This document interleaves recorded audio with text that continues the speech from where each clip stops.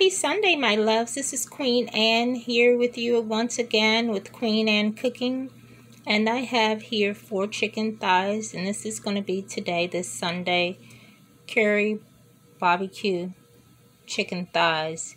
And the ingredients are butter, thyme, garlic, lemon pepper, curry, and barbecue sauce, of course.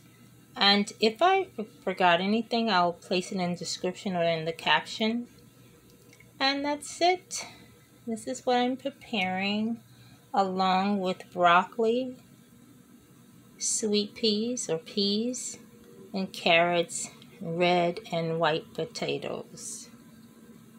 And thank you for viewing my video, my loves. I'm going there for you.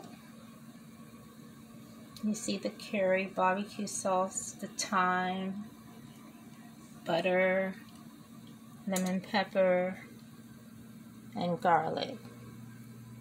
To my recollection.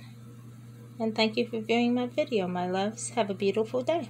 Beautiful sun, safe, and happy Sunday.